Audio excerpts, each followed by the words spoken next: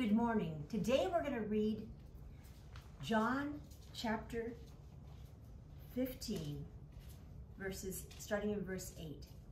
It says, By this my Father is glorified, that you bear much fruit, so you will be my disciples. As a Father has loved me, I also have loved you. Abide in my love. If you keep my commandments, you will abide in my love, just as I have kept my Father's commandments and, and abide in his love. These things I have spoken to you, that my joy may remain in you and that your joy may be full. This talks about overflowing joy. And in chapter 15, we're talking about the relationship of the believers to Christ. We want to abide in him. We want to live with the Lord, have the Lord in our life in everything we do.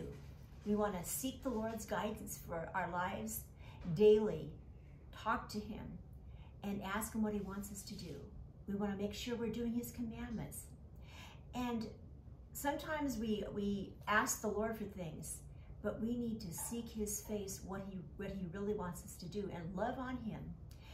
There's a scripture in, in um, Second Chronicles, verses 640 says, May your eyes be open and your ears attentive to the prayer offered in this place.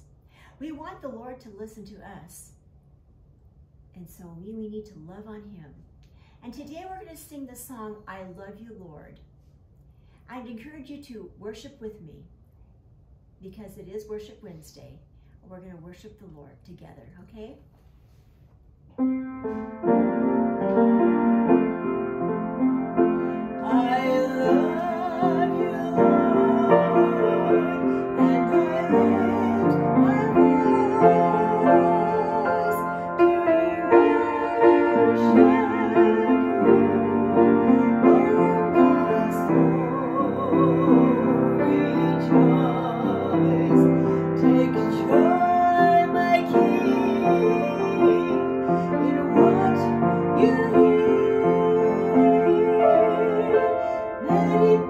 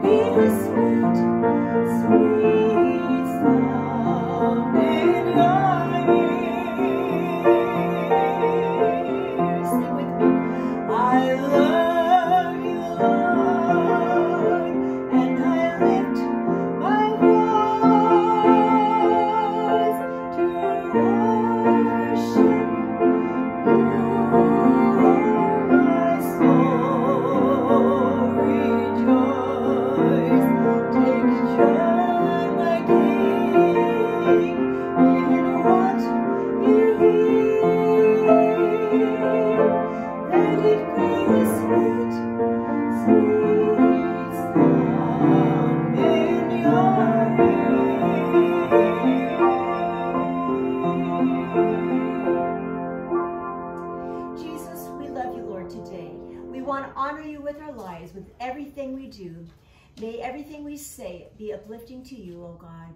For you are our Lord and our King. Bless us today in the things that we do. May everything we do worship you and bring honor and glory to you. Guide our steps today. In your precious name we pray. Amen.